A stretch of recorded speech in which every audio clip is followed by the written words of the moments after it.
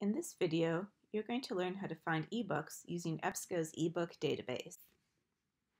First, what's the difference between ebooks and print books?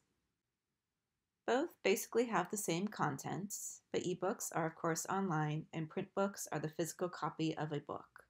So same content, but different formats. When doing research, generally speaking, content is much more important than format.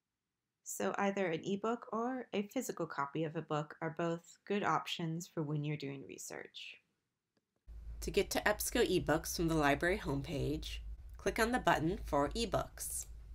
Then scroll down until you see EBSCO eBook and click on the link for EBSCO eBooks. If you're off campus, you have to log in with your one login. This is the same username and password you use to get into Canvas.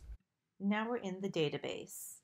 From here, you could do a keyword search for a topic you're interested in or for a particular title of a book. I'm going to do a search for this topic. So you can see that we have seven results.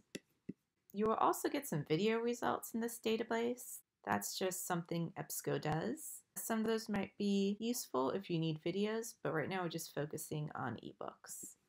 So to access a book, you can click on the book's title. This will take us to the book's record page, which gives us information about the title of the book, the authors of the book, the publishing information, and the date that the book was published, as well as some other things. It will also include a short description of what the book is about. You can see our search terms that we typed in are in bold in the book description. Some ebooks, but not all, only allow one user at a time to access the book.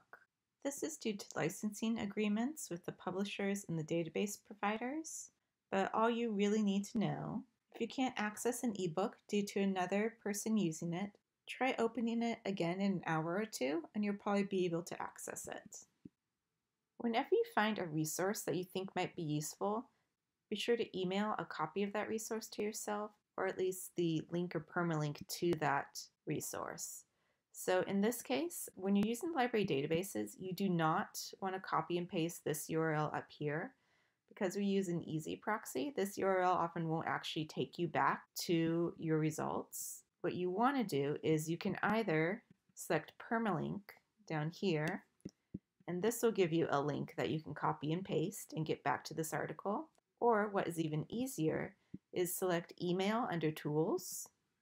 And you can email often all of a part of the resource to yourself or at least the correct link to the resource along with uh, important information that you can use in your works cited. Like in this case, it'll also email you the MLA citation for this book. So you can just type in your email. And it doesn't have to be your school email, it can be any email you want, and you can send it to yourself. Notice the subject area. This will be useful for finding other books on the same topic or for coming up with other keywords we can use to find more resources. If you scroll down, you can get to the table of contents.